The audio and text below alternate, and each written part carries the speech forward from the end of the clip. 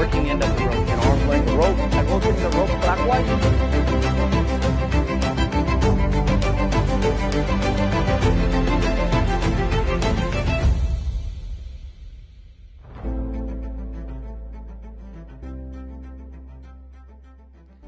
I'm Sergeant Emberton, and this is your introduction to rope terminology.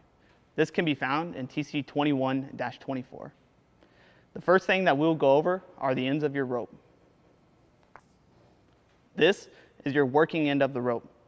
It is the portion of the rope in which you will be tying the knot. This is your standing end of the rope. It is the portion of the rope which is not used to tie the knot. This is a bight. A bight is a simple bend in the rope in which the rope does not cross itself.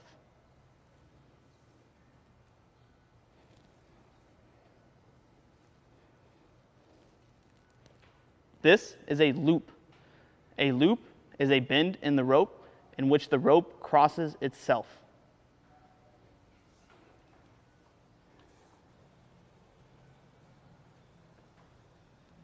This is your half hitch. The half hitch is a loop around an object to where the rope locks itself.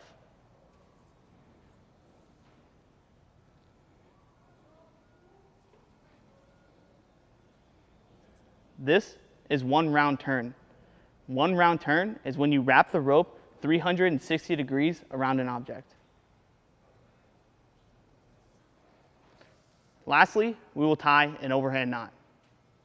You'll tie an overhand knot by making a loop. And with your working end of your rope, you will go through the loop.